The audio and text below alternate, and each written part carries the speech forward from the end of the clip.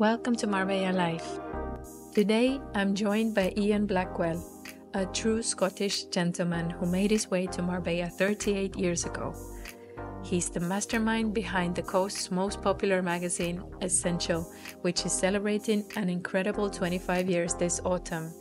Over the next hour, you'll hear the fascinating story of how a humble man who once studied pure mathematics and lived in India built one of the most successful magazines in Marbella. Enjoy! I've always had an issue about working for other people and, and being, uh, you know, under, and, and that's why I've ended up being my own boss down here. Mm. But when I came back from India, I was so far removed from even further from going into that mm-hmm. typical uh, rat race work environment. You know, suit tie, 48 weeks of the year, mm. four weeks holiday. You've been out of the system already. I and I went in there, and you wouldn't believe that I went. I was walking into places like mm. going, okay, you got one minute to listen to this, otherwise you're seriously going to regret it when you find out what you missed out on. Wow. Stuff like, like that, yeah. But what do you think is like the key or like the secret to your success? Why has it been so successful?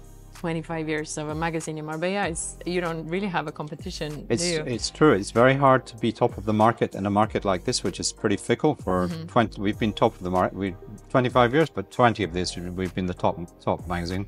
And how has the digital marketing affected your business? That's a really good question, and actually that ties in uh, totally with what we're just talking about. What is your advice for long-lasting marriage? So hello everyone. Here we are in the beautiful Sandon shop in Forum Marbella. And my guest today is the lovely Iain from Essential magazine. He's mainly known for that. But I'm really intrigued to find out more about Iain because all I really know is that you do this magazine, but I'm sure you're doing so many other things and I'd love to hear your story. So thank you for coming and I'm so happy you found the time to, to come and talk to me.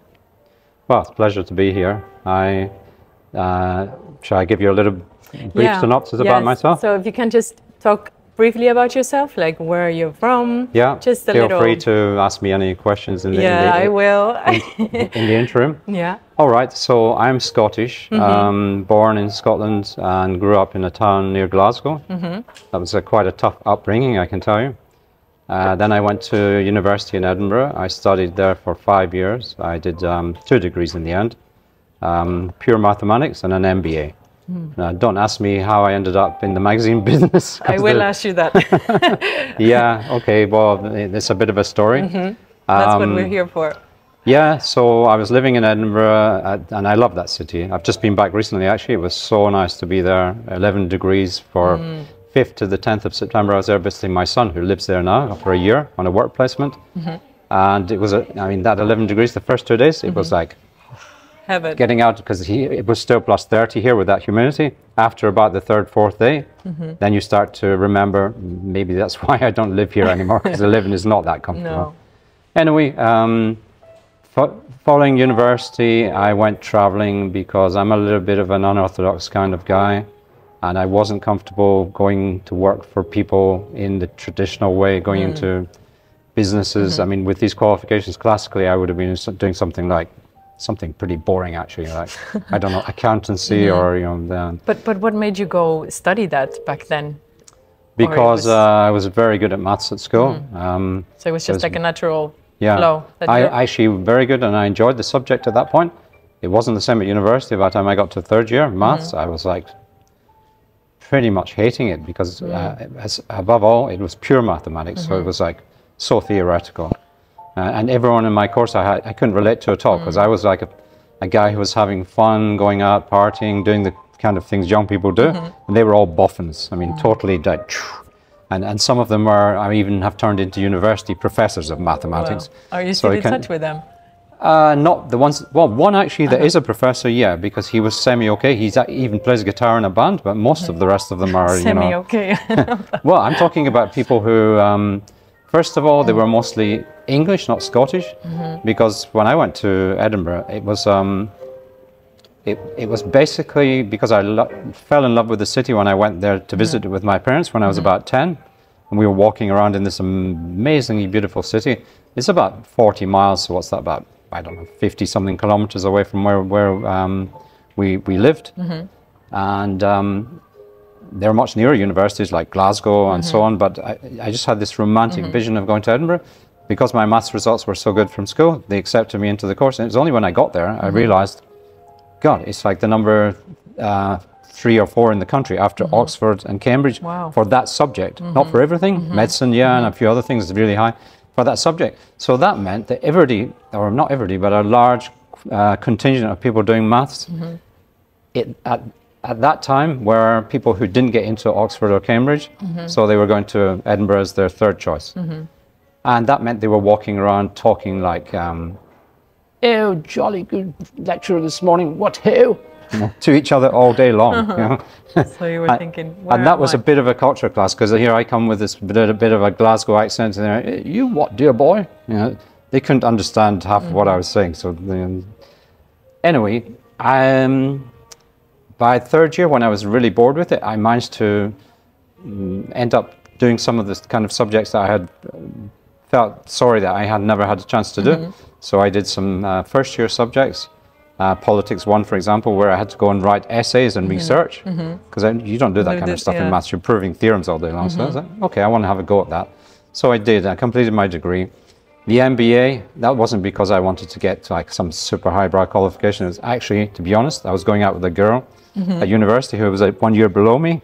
So she still had a year to go. So, So I was tr- trying to find any kind of ways what, whatsoever that I could stay there for another year. Oh, for love, you did the MBA. Yeah, That's yeah. sweet. So I got into that MBA course. That was a bit of an eye opener. I mean, they had 700 something applicants for 40 places. Wow. I don't know how I managed to get in because that's really intense, but I did. And um, that was a year where I met people that, I mean, all ages. Um, we had something like 19 nationalities in these 40 people from age ranges from six fresh undergraduates like me, but lots of people who are older, who, who are working in industry, who get sent to places like that, go and get the latest um, techniques in marketing you know, and uh, accountancy and whatever. It's a, it's a multidisciplinary course. they threw us in at the deep end. Um, I remember the week one, um, first day, in fact, Professor Simon Koch, he said, I'm going to set uh, an exercise for you all, a team exercise. There's going to be a lot of teamwork in this course for you to get to know each other a little bit. So since there's 40 of you, I'm going to put you into um, six groups of seven. And that works perfectly because there's six fresh undergraduates. One is going to be in each group. And the, the exercise is the following. You've got three days to walk around the streets of Edinburgh, maybe for the first day, and uh, determine where you would set up a restaurant.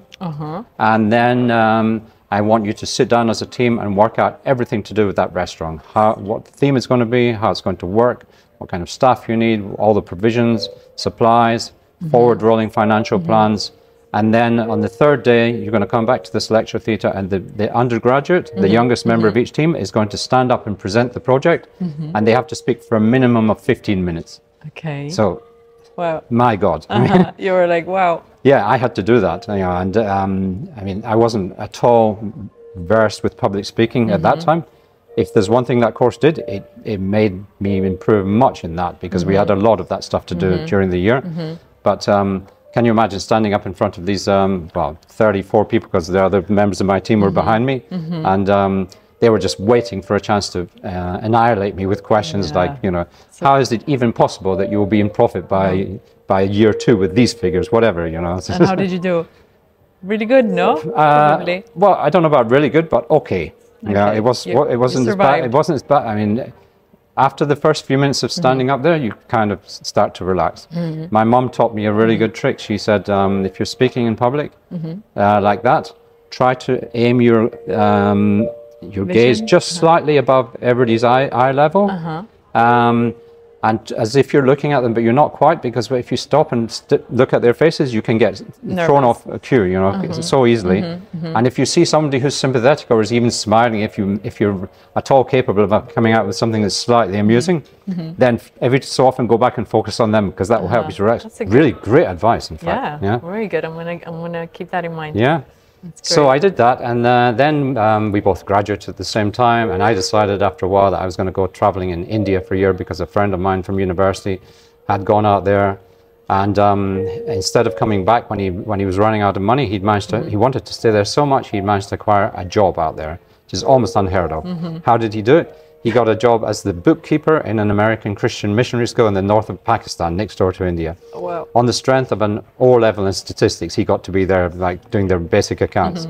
So, I mean, fairly desperate measures. So I went out to visit um, him because I thought I actually wanted to come down to Spain, and my plan was to do a, tr- a travel through, um, come down to Spain, um, go across the north of Africa after a while, and come back up through Italy, and end up back in Edinburgh. And by then, maybe I would have decided what, to do to with do. myself.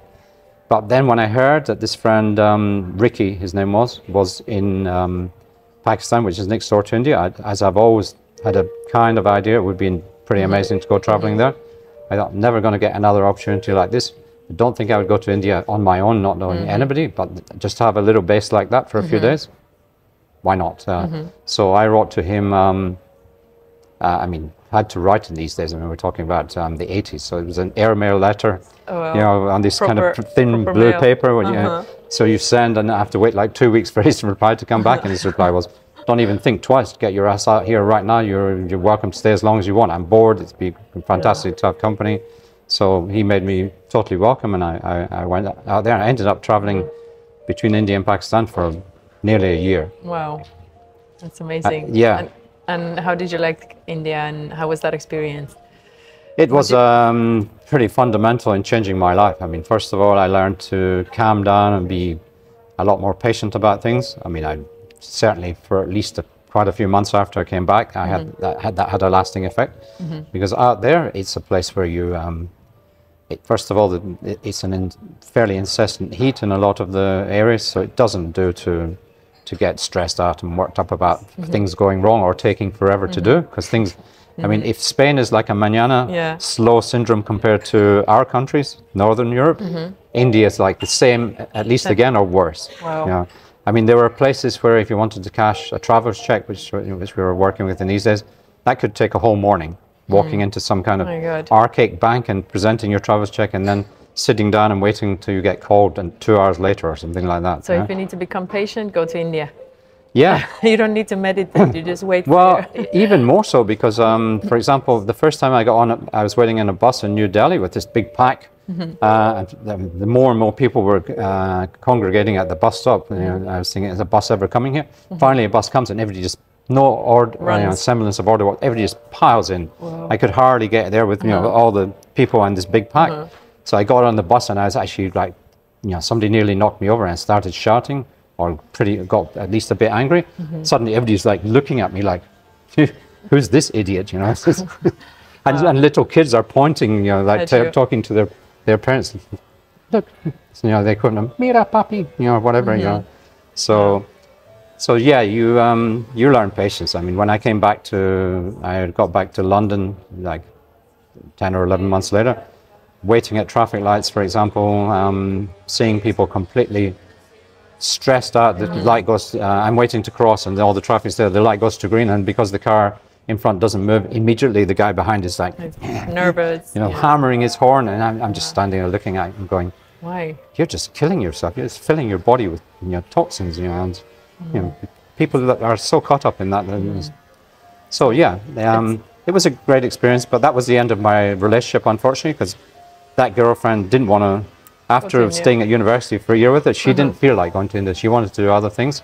So I came back. Um, I came back looking pretty unorthodox as well because I mean I went out there with super short hair, and I decided, okay, I'm just going to let my hair grow, and, um, and I'm not going to shave either. It's going to be easier that way. So can you imagine what I was looking like when I came back? Claus.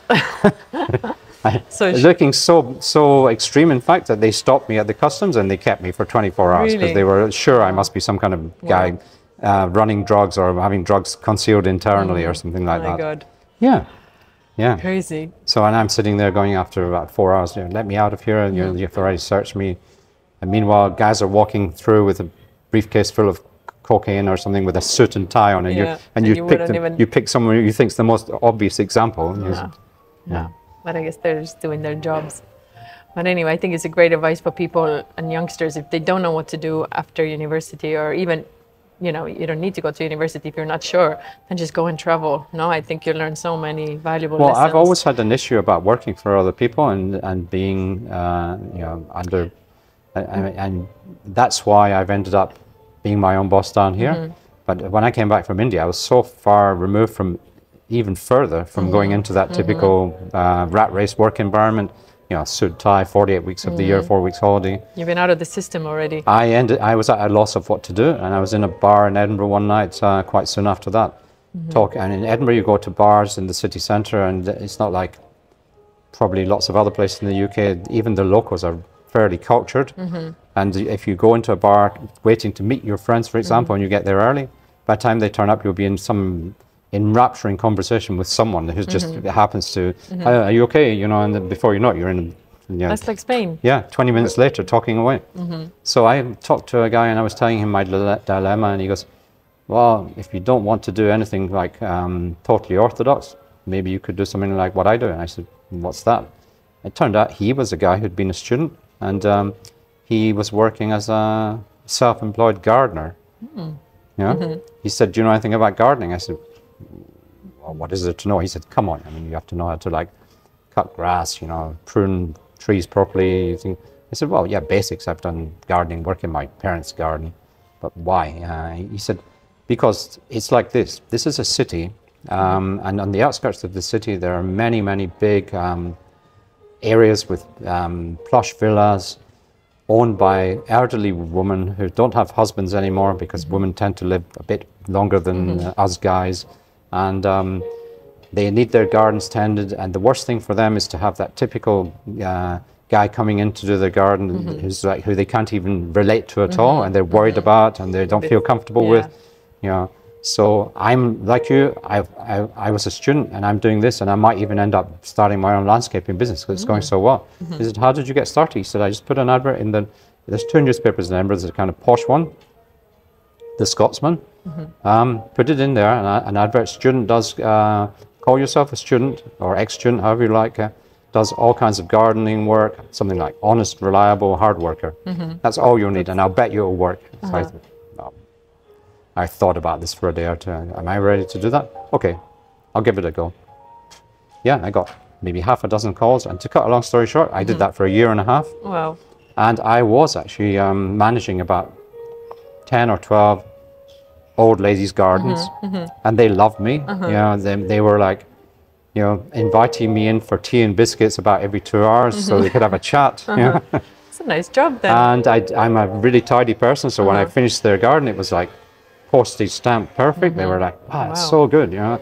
And um, then they would recommend me to other people. So it was. but did you enjoy that? It or- was. or I, I did thinking- actually. I got I got incredibly fit. I mm-hmm. mean, by the time I'd been doing it six months, mm-hmm. uh, I was in the best shape of my life. That's great. I mean, I could go out at night drinking with my friends mm-hmm. and drink quite a lot of beers, and the next morning wake up and not even Fresh. feel the remotest iota of any problem whatsoever, and be in the garden again at eight eight thirty. The only problem is the weather. I mean, there, there's a lot of rain even in, um, out of the winter season. So the key is to wear lots of different layers. I mean, if you if you try going with a big heavy jacket and you take it off, then you get really cold. So you just have to um, Be smart how you attune your temperature to uh, taking off some layers Mm-hmm. or putting them back on, and also have a waterproof one.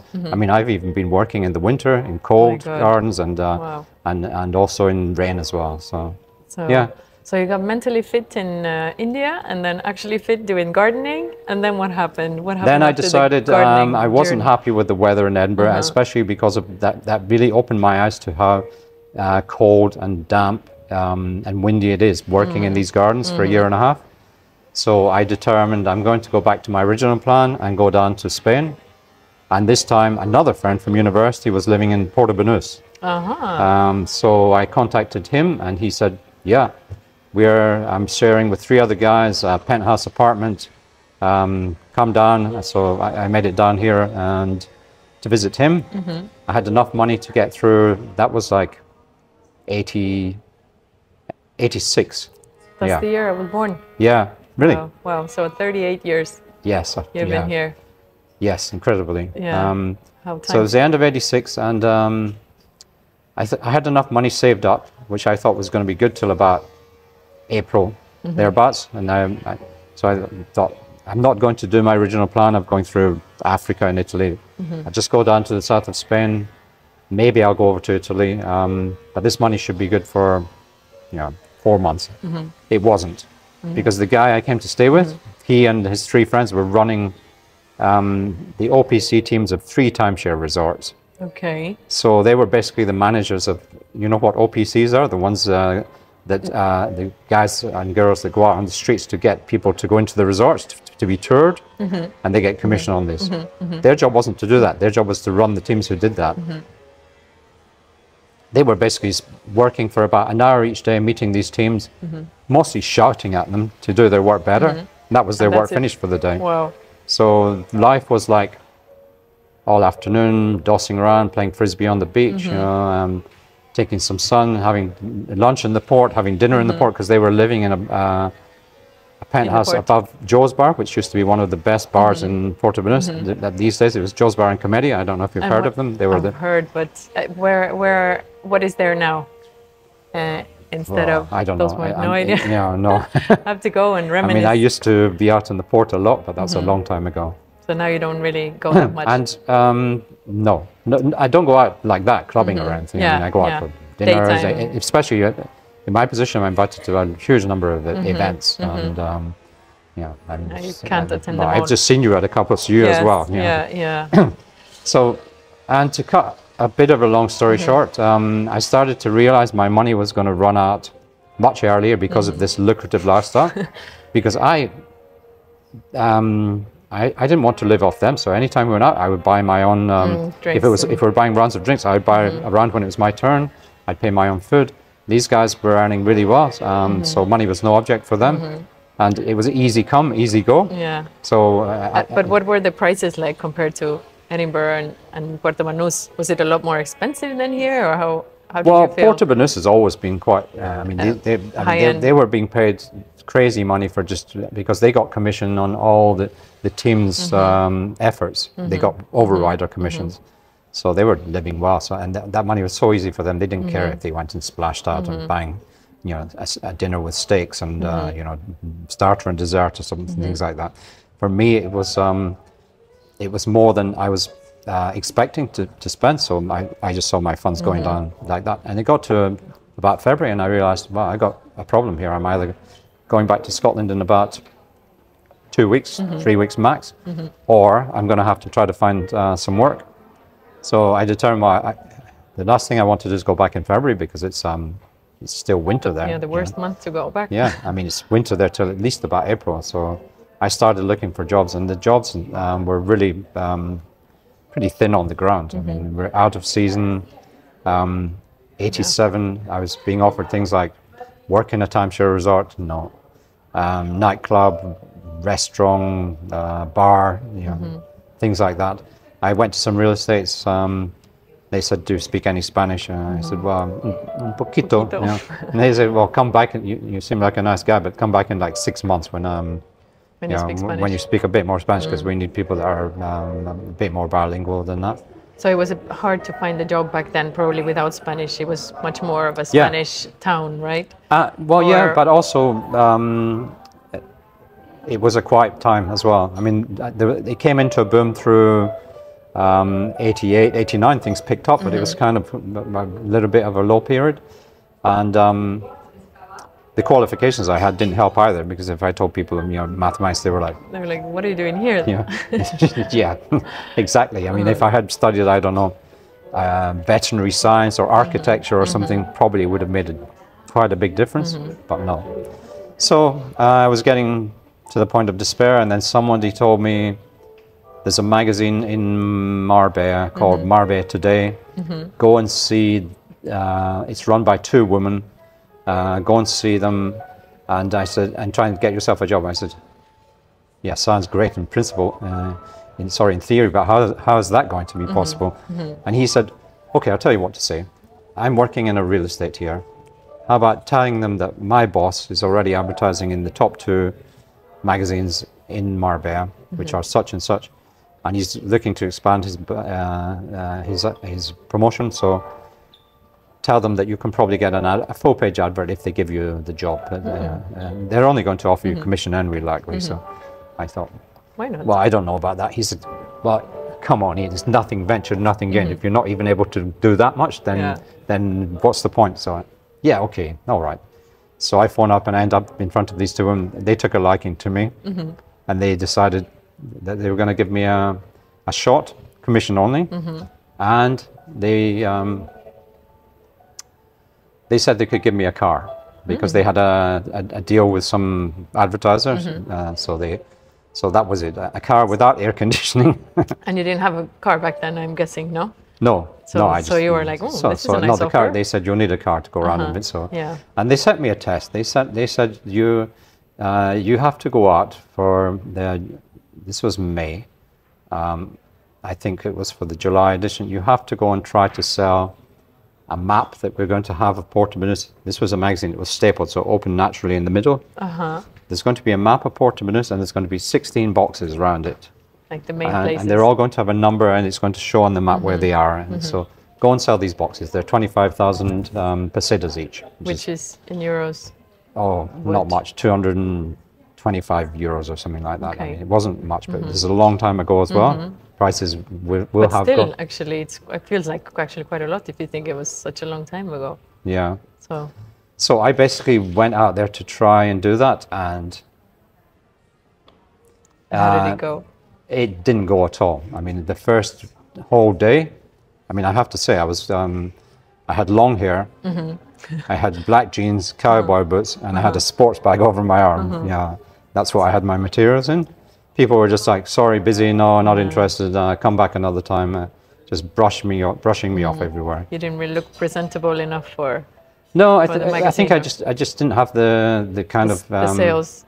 the um, presence to, to, to, to get them to stop for a minute and take me seriously. And I was actually um,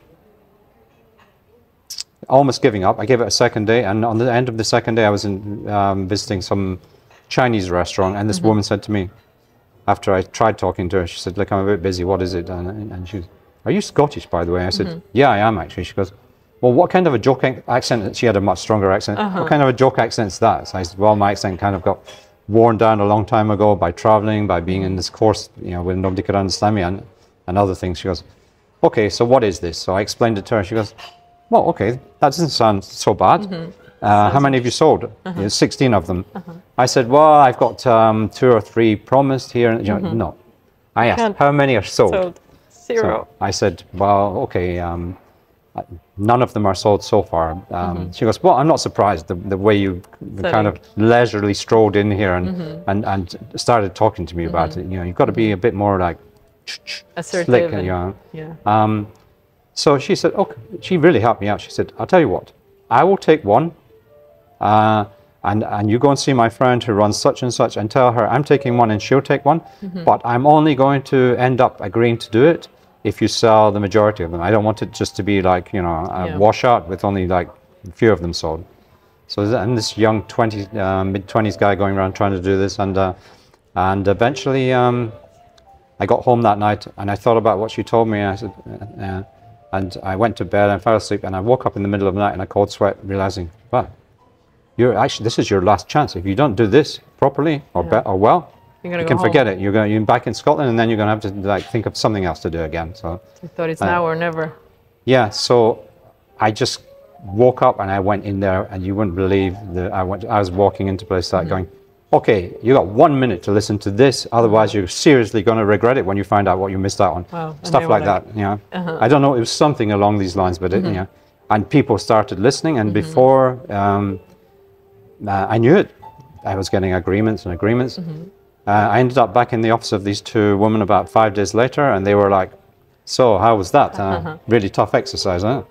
I said, "Yeah, really tough. You know, I don't ever want to do that again." And, yeah, well, I'm not surprised. And I said, "You know what? Um, I cannot get um, the last one on the bottom left-hand corner, but all the rest are sold." And they were just like, "No, No no way. way." Wow. I said, yeah, yeah, and I started pulling out the sports bag, all these contracts, bits of artwork, My you know, God. payments, you know. Wow, they were they were just been- blown away. They said, we set this test twice before, nobody even did more than like three, and you did 15. I said, yeah, but I'm really pissed off. I can't get this last one. You know, no, calm down, calm down. We can just put some little you know, something down there, you know, like. Um, so they, for because of that, because of that, they gave me the job. Obviously. They said the job is yours. And then about two weeks later, the guy who was the actual sales manager of that magazine uh, who you know, um, uh, Steve Cameron. Yes. Steve Cameron was the sales manager of that magazine, and he left because and the biggest magazine at that time called Lookout offered mm-hmm. him a job, mm-hmm. and he had three little boys. Um, the youngest one was just a baby, so he really needed the stability. So he, he even though he he these um, two women, he mm-hmm. felt a great loyalty to them.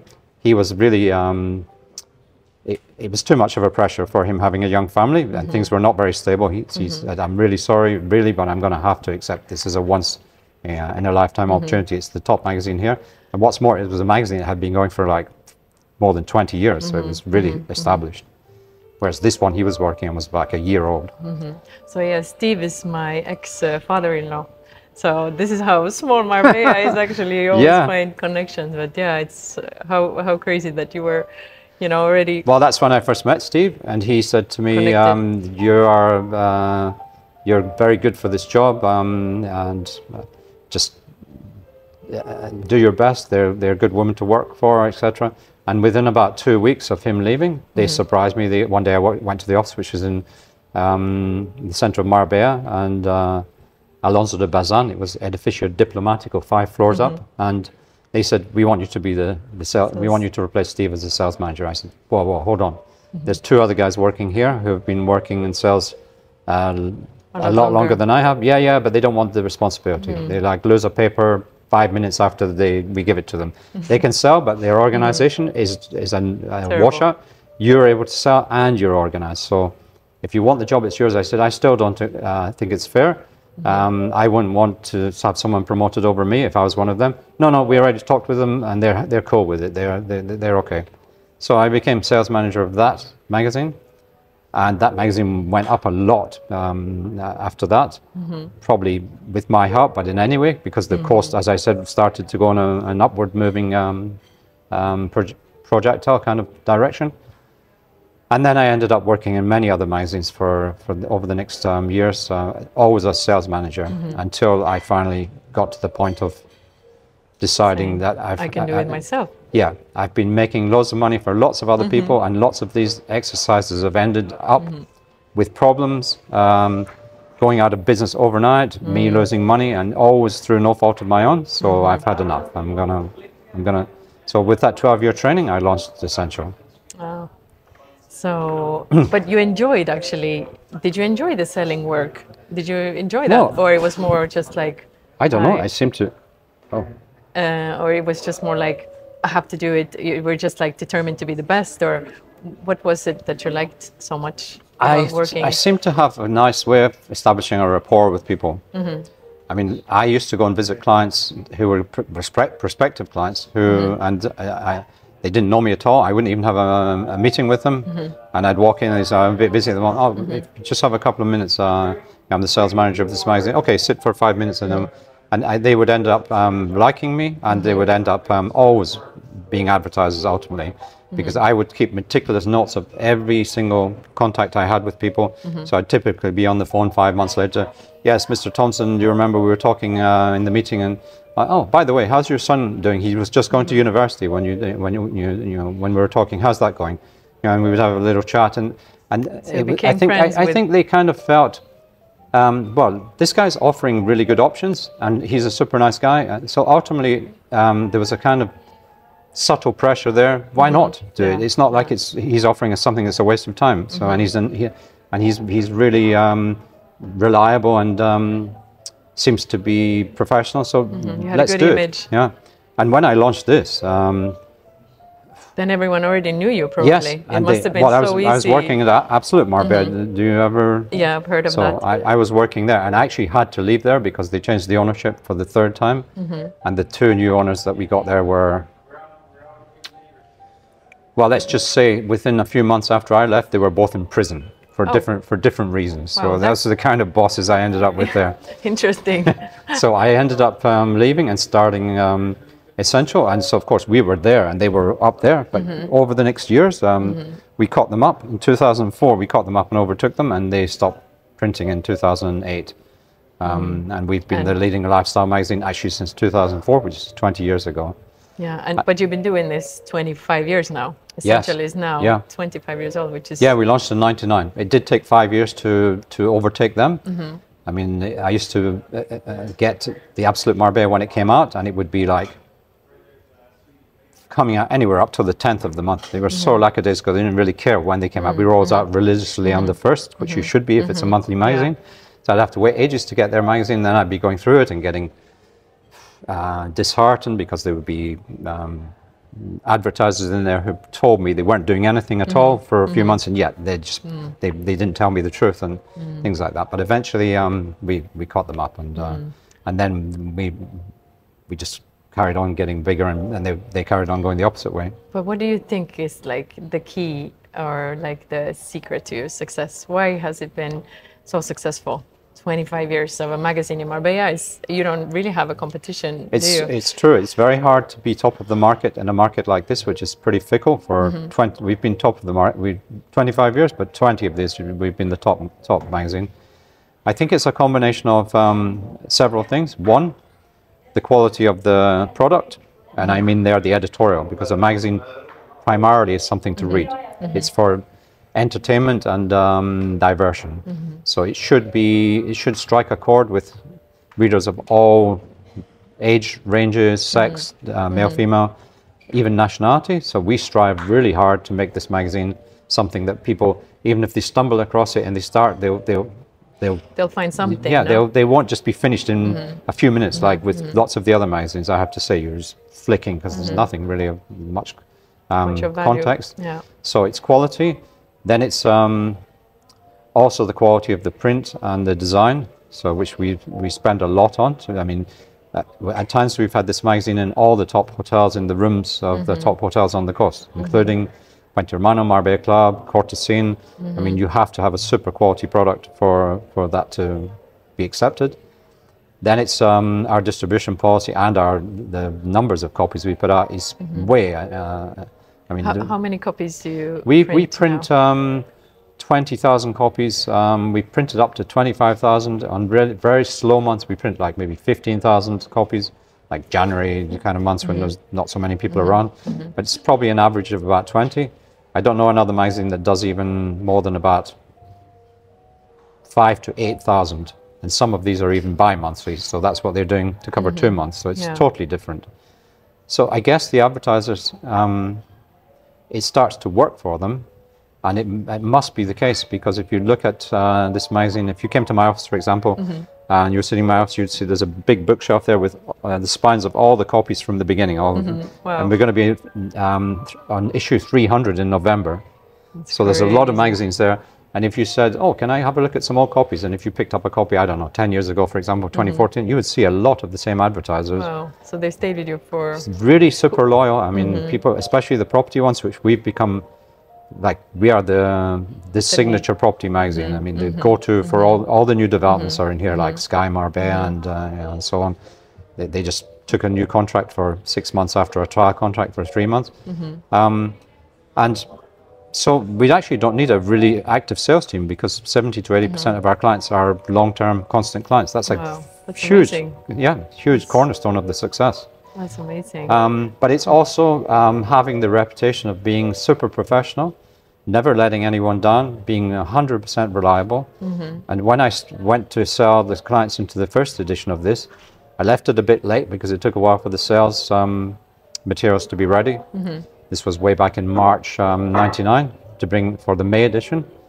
And I have to say that um, I, I, woke up in the middle of the night sweating because I, I, had a target to sell 30 pages of advertising, and absolutely I used to sell like 70 pages of advertising mm-hmm. or even more. So I was thinking 30 can do it in like a, a week. Uh-huh. And then I suddenly woke up thinking, yeah, but this is a totally new concept. What if everybody tells me, no, sorry, let's wait uh, mm-hmm. until we see, you know, uh, um, how, it, how it is for, uh, for a few months, then we'll make a mm-hmm. decision. we're screwed. Mm-hmm. But you know what? Everybody I went to, their attitude was more like, if you're doing it, Iain, we're on board. Uh, we know that it's going to be good. So, and they, they were already fighting for what positions they could have pre wow. pre launch. That's amazing. Yeah. But I think I, when I first came to Marbella, I was also working for an online magazine, as you know, and I also had to go and sell advertising.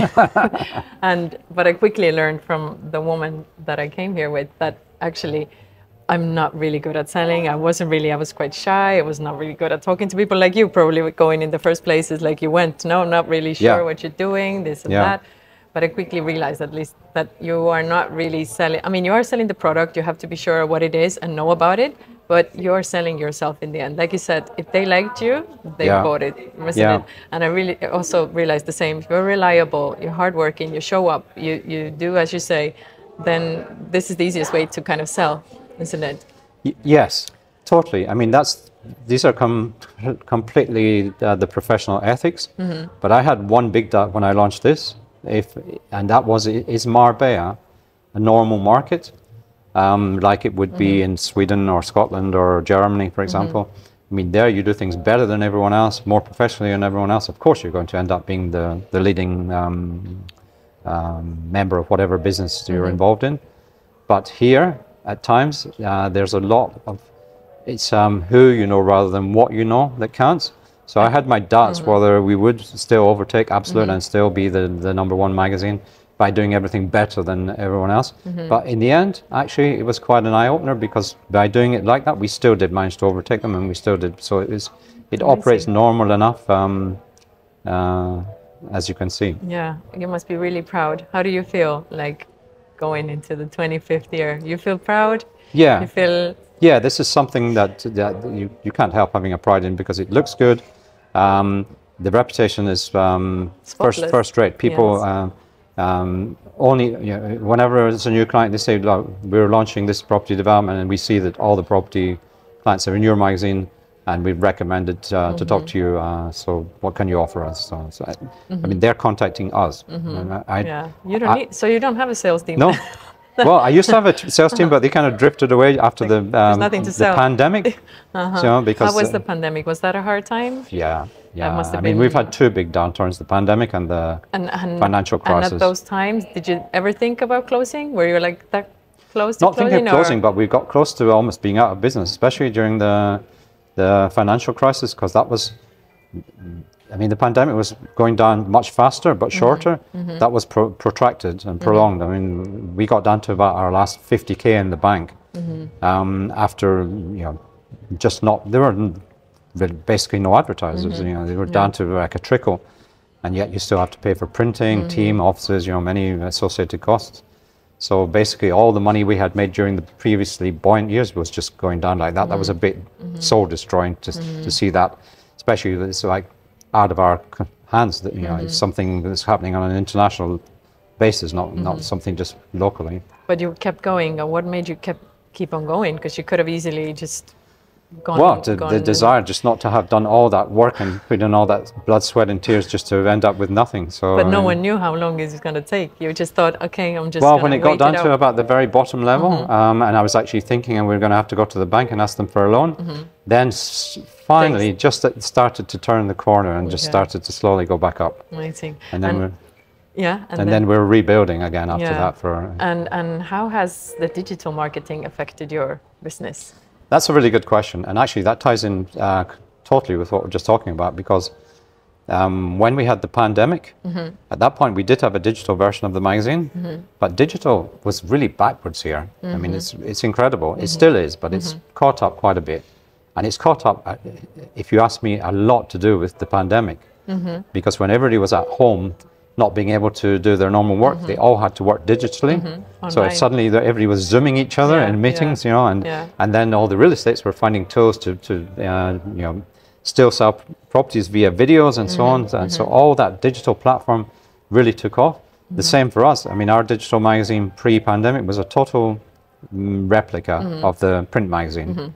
Maybe just a few more pages because we had a bigger font during um, that pandemic when we had to, found ourselves at home and we had to still pay our team and our mm-hmm. offices and everything, and we didn't get any help from the government whatsoever. Mm-hmm. Um, uh, my wife, uh, Andrea, who's who's in charge of the whole um, design side of the business, she started looking into things, and um, basically she came out with these, uh, you know, ways of making the, the, the online edition totally interactive. Mm. So, I mean, if you go on our uh, website now and you mm-hmm. go into the digital edition, when you open any spread, things light up, and if you touch them, wow. these it takes you into the website mm -hmm. of the client or the email. Mm -hmm. um, and not only that, there's videos, mm-hmm. uh, QR codes which mm-hmm. work, and mm-hmm. logos. It's it's it's amazing. I mean, I, when it when it was finally all achieved, I, I, I couldn't believe it. I was like, wow, this is a different world. Mm-hmm. And then you can also track. I mean, I think that's what a lot of businesses like that you can really track the digital marketing results. Now you can see how many clicks. You can see, you know, who's. Well, that who's works to a, to a certain extent. I mean, let's mm-hmm. say you're a real estate and you have a, a double page in here, and you've got properties with QR codes. You can see how many people looked at the property but it doesn't tell you um, whether they're to what level of interest they have, mm-hmm. and it doesn't tell you the other side of the people who have got nice villas who want to mm-hmm. sell them and are thinking mm-hmm. where will they put mm-hmm. it. Mm-hmm. Um, oh yeah, we should put it in essential because that's where the, the property goes. So, mm. so if they just made decisions purely alone on the QR code, it wouldn't be there. But it's, but of mm-hmm. course it is. I mean, if there's no nobody looking at it at all, that's a different matter. And what do you see as the future of Essential? Then, what are your plans for the future? Or you're not thinking what's next? You just well, I don't think I, I, don't think slow. personally I can do another 25 years myself because I'll probably be know. retired before then. are you My, planning on retiring? Not yet. My I've got two kids. Mm -hmm. uh, they're mm-hmm. both at university. My son is, like I mentioned, he's doing computer science and artificial intelligence mm -hmm. at Nottingham, but he's now doing a year in industry placement in Edinburgh which he managed to acquire. Then he has to go back and do his final year in Nottingham. So he finishes uh, not next summer, summer 2026. And my daughter's doing psychology at Greenwich, and she finishes the same the same year because her course is one year shorter.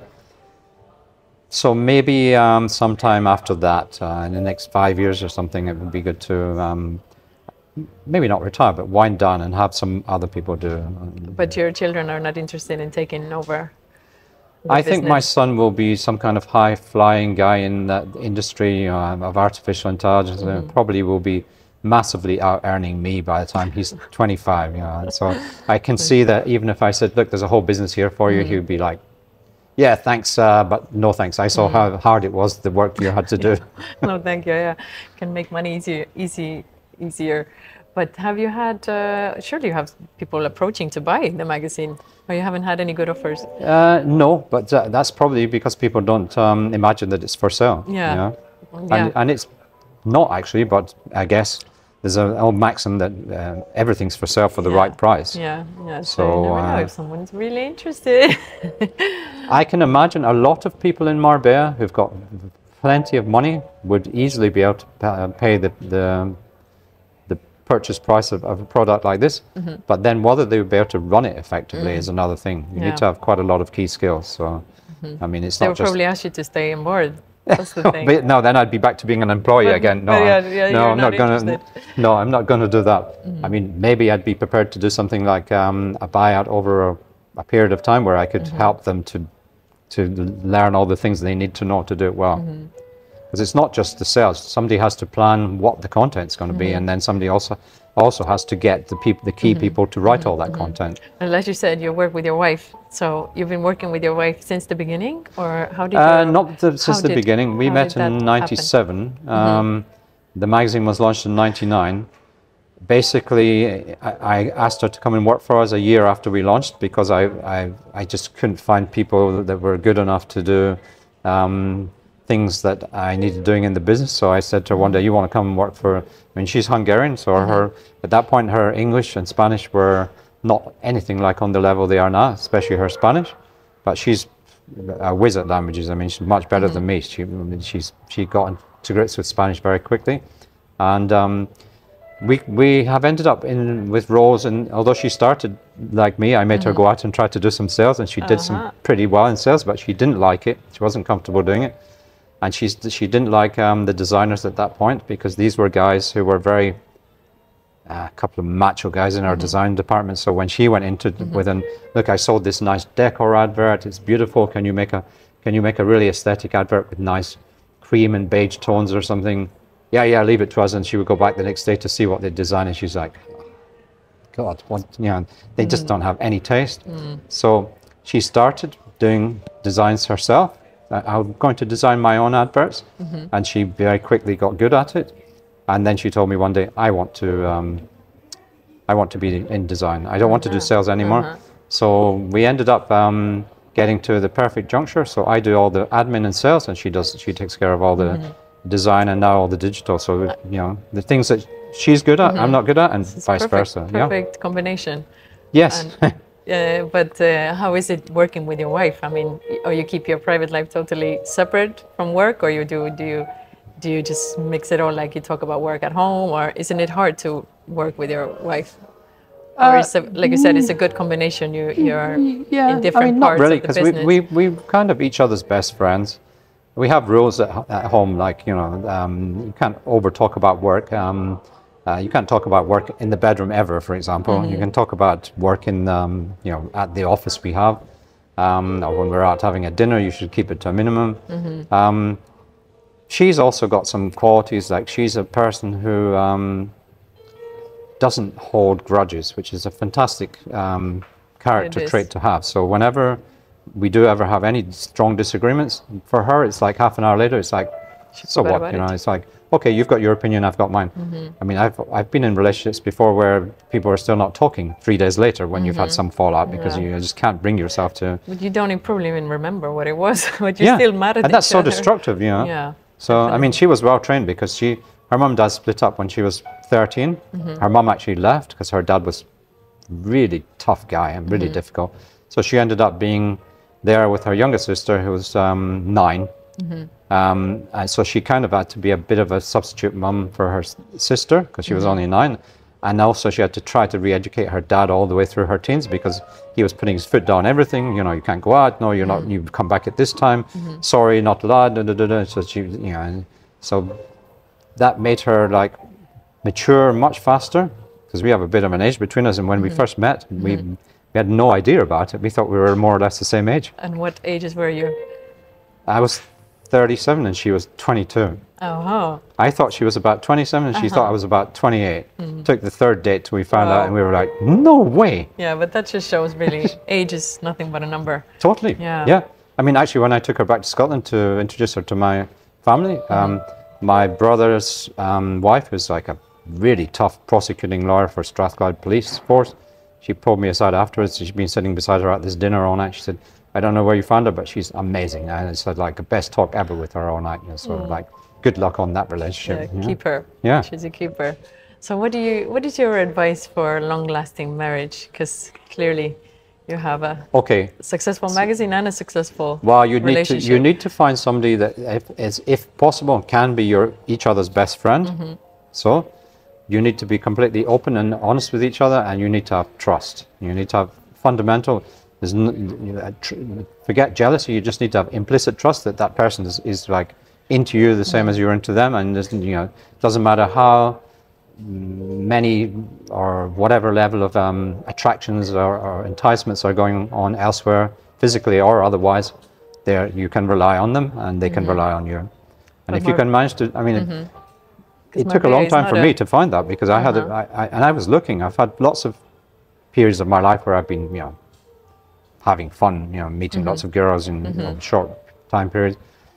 But I had that relationship at university I mentioned, that was five years. I had an eight year one when I came down here, which is part of the reason I also got stuck here with the, that first magazine. I met her um, about the same month I started working in that magazine. And then um, that fi- we finally realized we weren't really right for each other and probably should have broken up a couple of years earlier. And um, but it was a mutual ag- agreement to separate. So then I'm like 35 at that point, and I start to realize, well, the next person that I get serious with is going to have to be more or less it, because otherwise, family. Uh, I don't. I don't want to be a 50 year old guy having kids. Uh, um, so let's just hope I'm lucky. So, and and I was. You know? You just got lucky Yeah. with the right girl. It's good. Yeah, because Marbella doesn't have a lot of stories like that. So it's uh, it's a big yeah, accomplishment. meeting meeting people down here. That's true. And to meet somebody like that, who we could even end up not just being good in a relationship, but that we could even complement each other, like e- each other in work like that. Yeah. Just That's rare. Yeah. Really rare. pretty amazing. So how do you see Marbella now? How has it changed over 38 years? Like there must be such a drastic change. Yeah. I well, Marbe's in. Marbe's in really good shape at the moment. It's like got a huge reputation on the world stage as a Mm-hmm. person, as sorry, as a place in Europe that's really um, uh, high level for living and visiting. Um, There's lots of new top level businesses opening here. There's lots of new hotels coming, even more than the ones we've already seen. The property market is still going pretty much um, fairly flat out. Uh, there, it does have some problems, uh, some infrastructural problems, like especially the roads. Um, everybody's been talking about that, and now the water, which we kind of very lucky this year with that um, washout during Semana Santa, where it didn't stop raining. Feel really sorry for everybody who came on holiday that week. But it always rains that week. Like, just don't come that week. Yeah, It's but like not not like that. It pretty much yeah, it was, it like a tap going yeah, the, the whole yeah. week. Yeah, but thank God because uh, We needed it. Yeah, yeah. But what will happen in, future years because it's, the Mm-hmm. rainfall has been really low in the last few winters. Mm-hmm. Um, they're going to have to uh, start. I mean, probably they've finally woken up now, and they've, I Mm-hmm. think they're putting the desalination plant back into action, and maybe planning some others. But they should have already had that. Um, I mean, Mm-hmm. the authorities' level of um, forward planning is a bit um, Mm-hmm. Lacking, is, and the roads is another one. I mean, every sum- every summer you're stuck in queues. You know. um, Yeah, let's hope they, they do something about it. But yeah, and they, they have to because um, I mean it's attracting really high level people. Even the American market's opened up now, and apparently that's bringing a lot of revenue in into this area. But um, yeah, uh, it will ultimately backfire if, if if these things. I mean, can you imagine what would have happened this year if people had arrived at Marbella Club or Puente Romano and got told at reception, um, "Okay, nice, uh, we're checking you in now, but just one thing." Uh, we only have water from 8 till 9 in the morning, uh, Yeah. and the swimming pools are closed. I'm really sorry to tell you. What? Right. yeah, it's like you come here and there's no sun, basically. yeah, yeah. yeah. But uh, what has surprised you most about you know Marbella? Did you ever think like Marbella is going to be what it is right now when you first came here? It must have been like a small town, you know, like just it. You Well, know, what yeah, had- I, I knew it- I knew that it had become is- potential to be like it is, but I really doubted whether it ever would be Mm. because um, it's always been run by, you know, these local government Mm-hmm. officials who have, you know, at times have, have been running it, it very ineffectively or even into the ground. You know, Mm. I mean, um, this famous, you know, this Jesús Gil kind of guy, you know, Uh-huh. and, and um, although he actually was quite good for Marbella, he kicked all the criminals out. Yeah, and he did and some good things. cre- increased the police force, beautified the town. Uh, that's bit what like I've what's heard. going on with Estepona at the moment. Estepona is amazing. Trans, Yeah. trans, um, Transformation. Yeah. Yeah. so, Beautiful. so yeah, um, I think it's got um, huge potential. Um, it's still got parts of land that could still be developed. I, I wouldn't like it to end up being several times more the level of population than there is now, though, because it's just it it's already. Can't handle it. Well, how can you take a, a, a two-lane highway and make it into a four-lane? You can't. You can't start knocking down all the buildings on either side. Oh, then we're I gonna. I mean, they, they might be able to do something. It's ludicrous that you have to pay to go on the motorway. Mm-hmm. Um, and what's more, in summer, you have to pay double. And, and summer is not even July, August. It's No, no. 1st of June till 30th September. That's Yeah. daylight, Yeah. complete rip-off robbery. And that- should be, it should be the opposite. It should be half price. I bet you they would even make more money if it was half price um, because people would be like, okay, I don't have to get stuck down there anymore. Uh, But, people just can't afford to pay that um, Mm-hmm. or they're not prepared to. Yeah, it's rising every year. But uh, let's talk a little bit more about Marbella. What do you do on your free time? So when you finish in the office, Huh. uh, what do you do, or how does your day look like? All right. Well, these days I work from home maybe two, three days a week, and the other days I go to the office when I have meetings and things to do. Because I also set up a pretty effective office during the pandemic. And to be honest, if I go downstairs in my pajamas or shorts, I um, I can already have like a lot of work done in the same time that it would take me to get ready, dressed, drive to Marbella, park. Parking can be quite uh, difficult, and then walk to my office. That's already like a whole hour of work time, and the same coming done. back. Yeah. Plus, you have a lot of distractions in the office. People probably start talking to you, asking things. So Well, no, the, our No? office is fairly quiet, but Uh-huh. yeah. Um, so, what do I do? Um, probably most of my social life is a bit of socializing with friends, Mm-hmm. um, but a lot of it is actually work related. Mm-hmm. I mean, it's uh, I'm going to. Uh, tonight, I'm going to an event at Pedro Pena, some press um, visit for some new concept. They want, they want this big hush hush. We don't know what it is till we get there. Seven o'clock. interesting. And then I got I got invited to. Have you heard of this new Zengo?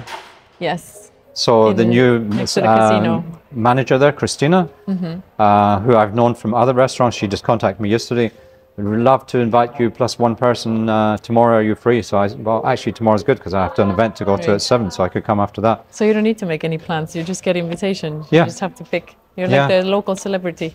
Like they, they want you in the events. Kind of, because um, a couple of our clients as well insist on um, that I go there to dine every year. So I'm, I'm, you know, I- if I don't show my face there during the whole of the year, they get a little bit disappointed. It's like, well, we never see you anymore. I said, well, yeah, because you know, this. How many times do I actually go out for dinner, which are not um, uh, work events, where it's, where it's my own choice, where I'm deciding to go with my wife or whatever?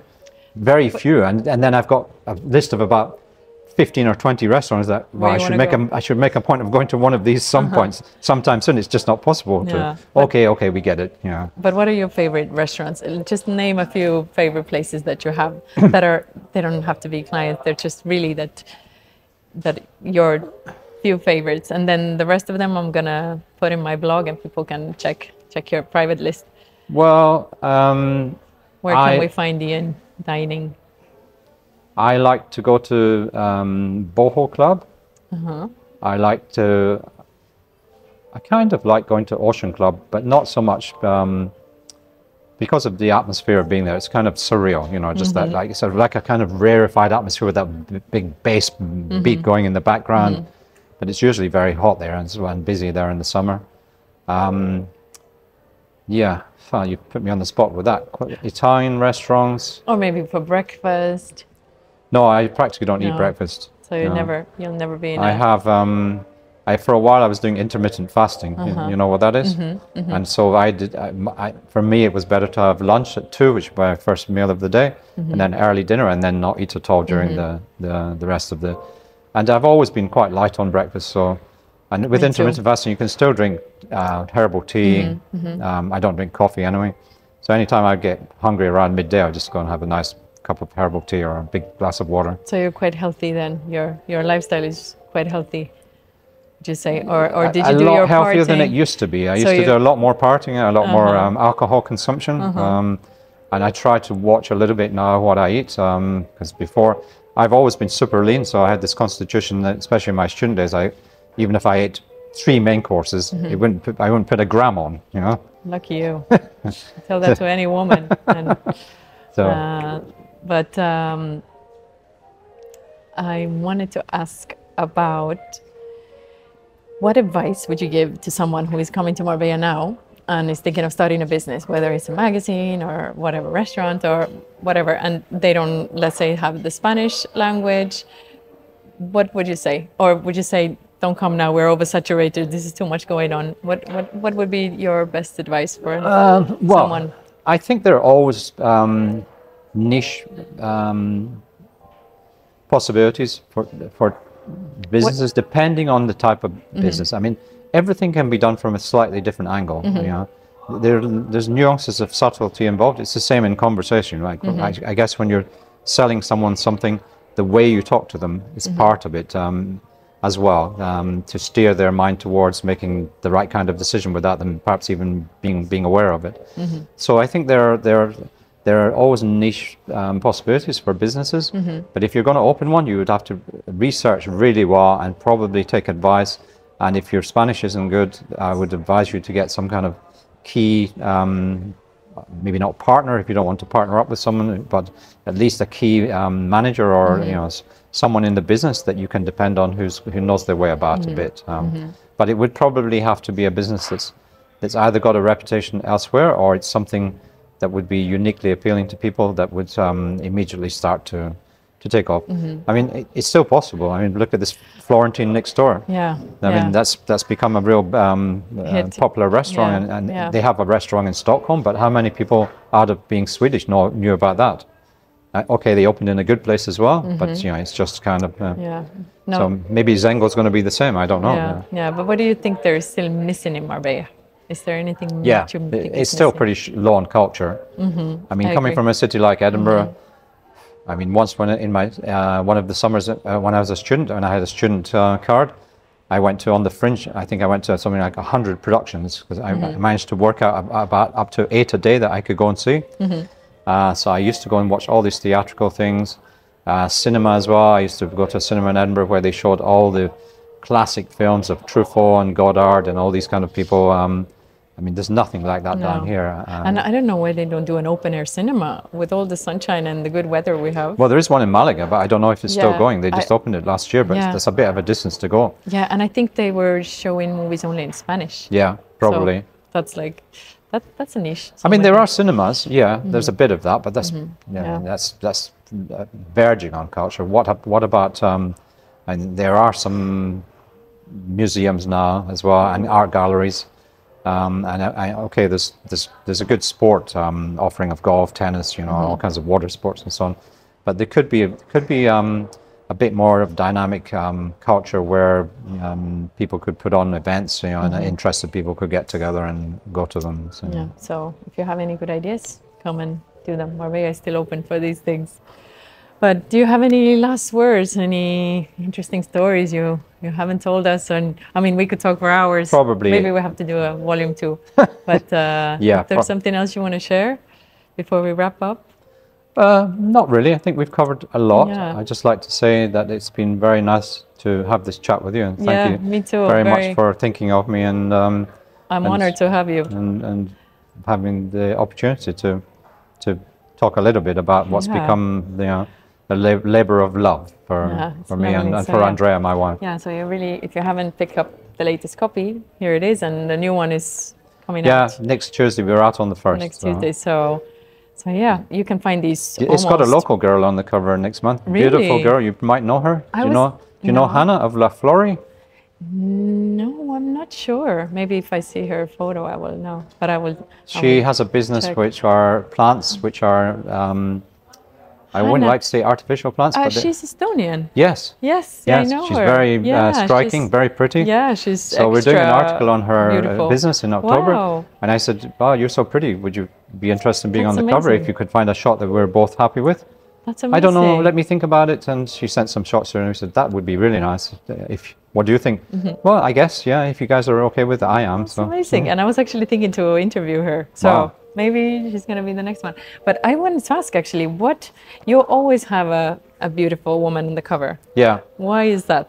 And it's usually, it's never actually a celebrity, is it? It's usually No, no. We've had like. we've had many celebrities. yeah, but, yeah. but I, I think mainly it's been usually just like a beautiful model or, or we, what. it- we haven't had as many celebrities of late as we used to have. Um, but yeah, but why exactly are you choosing well, to do that? this this is a magazine that appeals to men and women in mm-hmm. equal measure. I think mm-hmm. when we when we last surveyed our readership, it was something like 51% women, 49% men. So mm-hmm. good. So we want something that appeals to both men and women. And uh, it's the surveys tend to show that if you put a, a striking woman or a model or a beautiful girl on the cover, that works for both. Okay. Whereas if you put a man on the cover, The yeah, a lot, a lot of the time, depending on what the, the man on the cover is like, a lot of men are, you know, um, not so happy about it. I mean, we had, we Mm-hmm. once had a cover we nearly did of a, a Colombian mod, supermodel um, guy, super handsome with long hair, and he was climbing out of the swimming pool, and he was he had his arms like this, so you could see all his you know, shoulders and muscles just coming out of the pool. And we were going to use that shot on the cover, and we took it uh, into around our office. And We showed it these, these two macho guys in the art room. and said, No. yeah, it's looking like you know you're turning into a magazine for homosexuals or something. Oh. Come on, guys, calm Yeah. down. You know. So we're thinking, okay, let's stick to the women, and it's clearly working. No, I- I think the main point is it's something that that you stop when you're passing and you go, wow, Mm-hmm. that that because the cover has got a, it's like, um, it's it's the first impression. So it's something that you want people to be struck with that they would Mm-hmm. like. It appeals to them to well, let's at least pick it up and see what's inside. yeah, has to be eye catching, and it Yeah. definitely is. Anyway, congratulations on this amazing achievement. This is uh, really rare in Marbella to be a business, and and it's not an easy business to do. So, yeah, well done. So Oh. thank you, thank you again for coming and. And be sure to check out my blog where you will find a little bit more information about uh, Iain or your favorite places and link also to the uh, website of Essential and the online version so you can read it. And yeah, stay tuned. Maybe we'll have a, another episode somewhere in the near future and, and talk more about the old Marbella days. Yeah. Okay. All so right. lots of memories there. So thank you very much. Thank you. Thank you. Okay. This episode is brought to you by Sandon, a family run furniture company with a brand new flagship store in Forum Marbella.